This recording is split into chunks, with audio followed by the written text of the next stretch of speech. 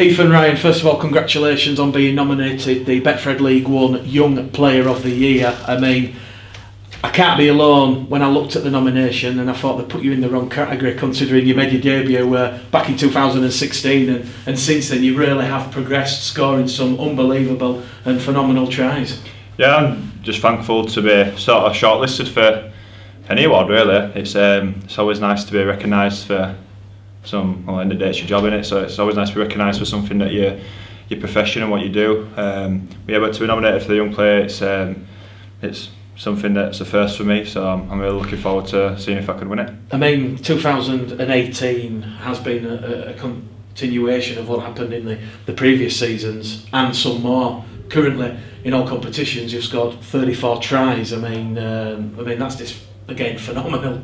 Yeah it's, it's been it's been a really good year for me. Um, like you say, I've, I've, I've betted each season as it's gone past. Um, I know we haven't always been in League One and things, we've been in the Champ and that, um, so maybe the opposition has been a little bit tougher, but it's it's been I don't know, it's been it's been good to sort of keep that form into all these games, to play every game so far this year and to back it up with um, my tries is, is um, a goal of mine that I like to set, so I'm glad that I've actually achieved that and more.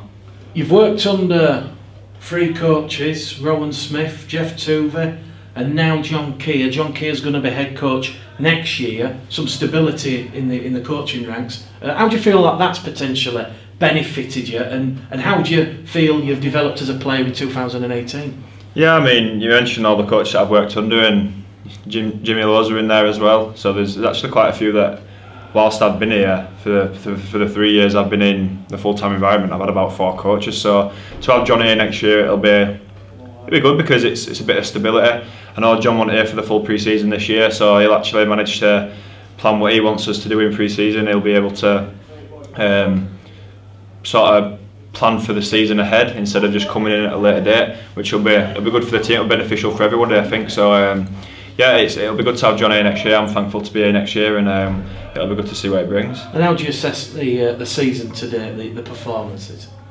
Um, very, very good today. I think we've we've handled this um, this season professionally, which we needed to do.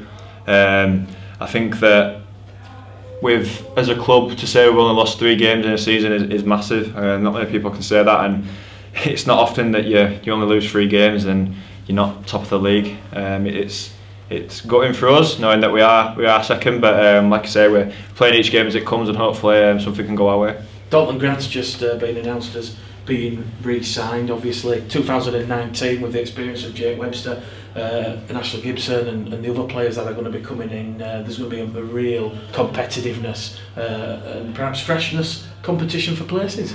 Yeah, it's always good to have a competition for places. Uh, you see you see it brings out the best in people. Um, everyone's just striving to beat each other, which is it's good. It, it, it um, breeds a competitive environment, so it'll be good to have that uh, competition. Um, but bringing in the players like that is exactly what we need. Seeing that Dalton has signed another year, it's massive for us. Is um, is it's almost like having another forward. Sometimes the amount of carries he takes, and it can he's proved to everybody that it can it can finish a try and score a try. So having Dalton here next year is uh, it's, it's big for us. Um, definitely good. I'm, I'm, I'm good mates with him as well, so I'm glad he's staying. And just finally, for now, do you see your game developing uh, in, in in the coming months and, and year? Um, I'm not too sure to be honest. I, I tend to not think that far ahead. Um, first of all, I just want to get this year out of the way and just see um, see what happens with uh, promotion, whether we, we achieve that or not. Um, I feel like we will. So it'll be it'll be good to just get this year out of the way, and then next year when we know where we are, can start thinking about goals for the season and what we actually want. Um, but right now the focus is this weekend Oldham and then from there just sort of uh, getting that promotion push. And how tough is it going to be on Sunday against Oldham? Yeah Oldham like they came down with us from the championship last year it's always a, a tough battle when we play against them um, this earlier game we played against them this year it wasn't, a, wasn't an easy task at all Um, it went, went right down to the wire. Um, so we know what Oldham Oldham bring. Um, we're to have a good week in training this week, and um, we'll we'll hopefully deliver the goods on Sunday.